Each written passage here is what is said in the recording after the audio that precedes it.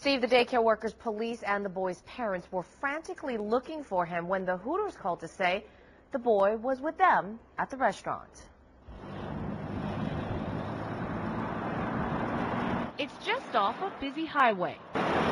Without a fence or wall, Imagination Station, a Denton daycare along Highway 77, where police say an imaginative five-year-old was supposed to be. But 50 minutes before his parents arrived Tuesday afternoon, he wandered out of the center.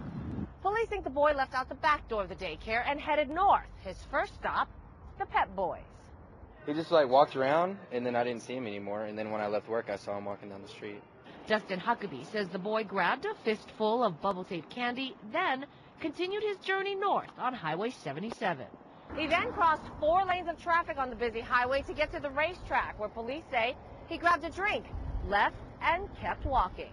Behind the RaceTrac is a Hooters. A cook first spotted the boy wandering around outside. He told me that there was a little boy in the parking lot, so we immediately ran outside, brought him inside. Hooters employees let him color, gave him a Coke to cool down, and called police. We could tell he'd been outside for quite a while. He was sweating, he was hot. General Manager Brian Mason says he can't believe the boy walked about a quarter of a mile in the 100 degree heat, crossed busy streets during rush hour, and wasn't hurt. He would have had to have crossed an exit ramp for the interstate highway. Denton police are investigating, trying to figure out how the five-year-old was able to wander away from the daycare without anyone noticing. We tried to ask daycare employees what happened. They would not comment. But police are, given the dangerous situation. Anything could have happened, which is what the, the major concern is in this deal. Anytime you have a child that's out walking around by themselves, you never know what could occur.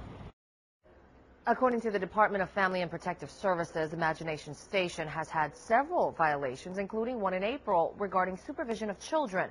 Inspectors determined that the staff was not supervising all the children properly then. The state agency is now investigating this latest case.